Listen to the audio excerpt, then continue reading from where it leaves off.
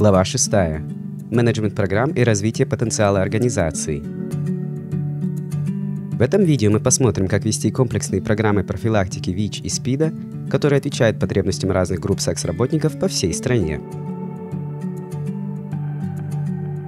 У многих сервисных организаций мало опыта работы с секс-работниками, тогда как у организаций секс-работников не всегда хватает возможностей для самостоятельного проведения программ. Сервис-провайдеров необходимо обучать, как выстраивать хорошие отношения с секс-работниками. Это означает, что к секс-работникам следует относиться не только как к получателям услуг. Нужно выстраивать партнерские отношения с общиной, откликаться на потребности и приоритеты секс-работников и приглашать секс-работников работать в команду.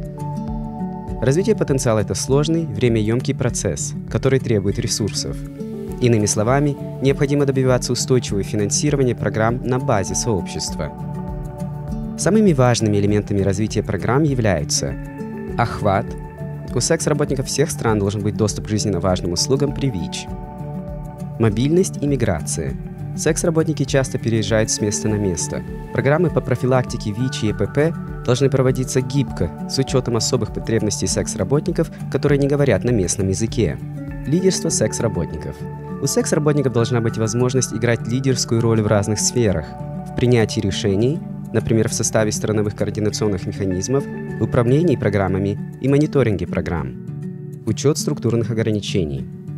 Секс-работники сталкиваются с правовыми барьерами из-за уголовного преследования и незаконных действий полиции – они также сталкиваются со стигмой дискриминации, бедностью, нестабильностью жилищных условий, насилием, домогательствами и ограничениями в доступе к медицинским, социальным и финансовым услугам. Все эти факторы необходимо учитывать при планировании и проведении программ по ВИЧ и ППП. Строгая конфиденциальность и защита данных. Данные, которые позволяют установить локацию или вычислить человека, необходимо хранить конфиденциально и защищать от людей, групп или организаций, которые могли бы причинить вред секс-работникам. Как выглядит сильная самоорганизация секс-работников? В нашем регионе есть множество примеров, когда инициативная группа секс-работников становилась формально зарегистрированной организацией. Некоторые характеристики сильной самоорганизации секс-работников. Добросовестное управление, прозрачность, подотчетность, эффективное управление и верховенство закона – все это неотъемлемые составляющие добросовестного управления и возможности организации исполнять свои обязанности. Менеджмент проектов. Чтобы эффективно работать в соответствии с миссией и видением организации и отвечать на потребности сообщества. Мобилизация ресурсов. Необходимо для устойчивости и возможности вести работу на протяжении длительного времени. Развитие отношений. Развитие отношений с донорами, общинами, правительством на национальном и местном уровне, сервис-провайдерами и сетями НПО. Наше видео путешествие по материалам СВИД подошло к концу.